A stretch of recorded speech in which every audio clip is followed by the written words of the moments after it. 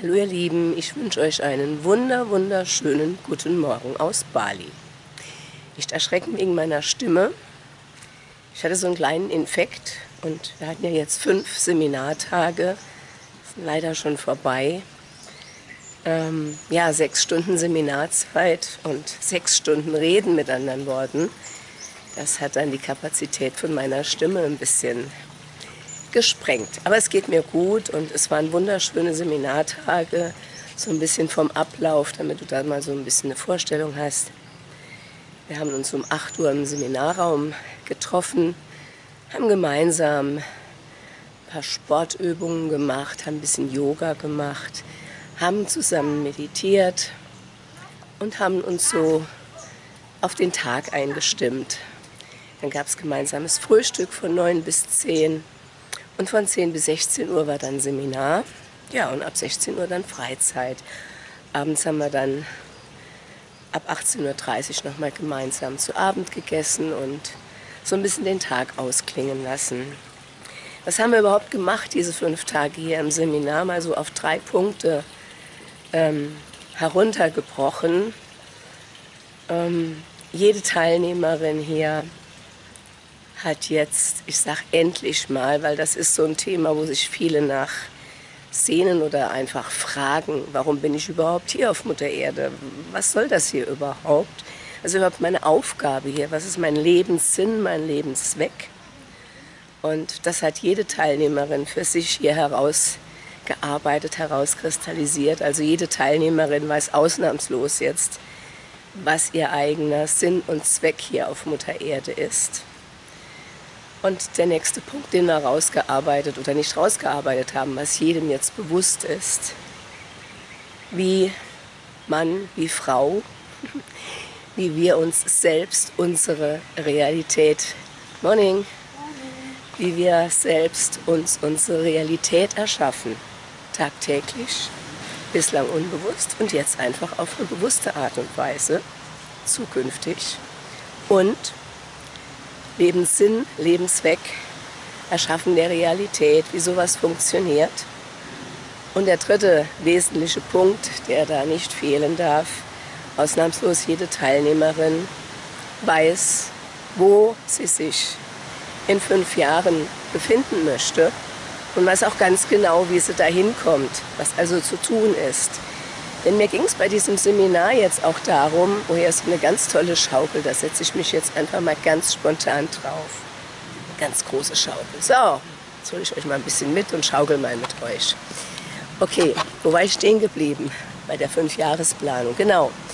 Also mir ging es darum, jetzt nicht nur für die Teilnehmerinnen hier äh, fünf tolle Tage zu gestalten, tolles Seminar zu machen, sondern und ja, die ist so, so ein warmes Bad, wie man das manchmal von Seminaren kennt. Man hat ein warmes Bad und äh, ein paar Tage später, wenn man zu Hause im Alltag ist, ist wieder alles dahin.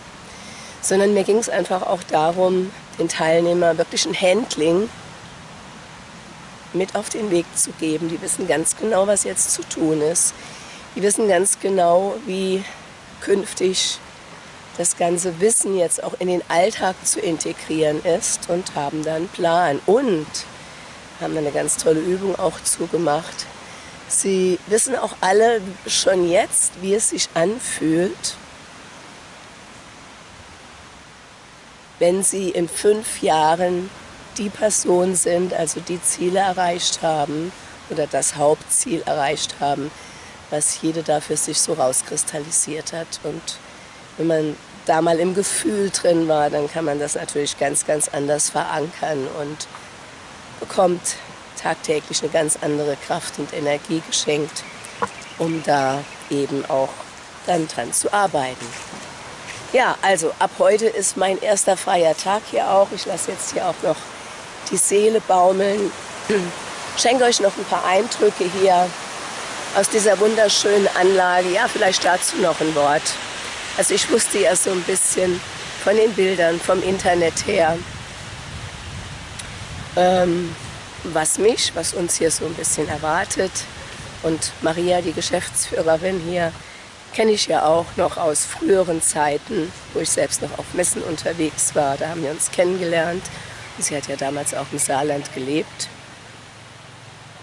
Also von daher wusste ich ein bisschen, was mich, was uns hier erwartet. Aber ich muss sagen, meine Erwartungen sind bei weitem, bei weitem wirklich übertroffen worden im Hinblick auf diese wirklich wunderschöne paradiesische Anlage, im Hinblick auf die Freundlichkeit, im Hinblick auf die Zuvorkommenheit der Menschen hier, im Hinblick auf die Energie, die hier herrscht, grundsätzlich an diesem Ort hier. Also da geschieht Transformation viel, viel, viel, viel, viel leichter, als man das zu Hause einfach zum Beispiel auch in fünf Tagen erarbeiten könnte. Und auch im Hinblick auf die Gourmetfreuden, also das Essen, das bekommt von mir gleich mal zehn Sterne. Ist also wirklich fantastisch. Kommen wir auch aus dem Schwärmen nicht raus. Ja, und heute geht's nach Ubud. In Ubud wurde der Film Eat, Pray, Love unter anderem gedreht. Da fahren wir heute hin, einfach mal so ein bisschen ja, was anderes sehen. Ubud liegt in etwa in Mitte der Insel, also es wird sicherlich auch eine schöne Fahrt dahin werden. Rein vom, für das Auge, da nehme ich euch auch mit. Und Jetzt für dieses Video schenke ich euch einfach hier noch ein paar Eindrücke von der Anlage. Hier ist es ganz früh, 6.30 Uhr haben wir erst. Hier schläft eigentlich noch alles, nur ganz wenige, wie ich, sind unterwegs. Und dann sage ich jetzt schon mal Tschüss, bis zum nächsten Mal, eure Irmgard.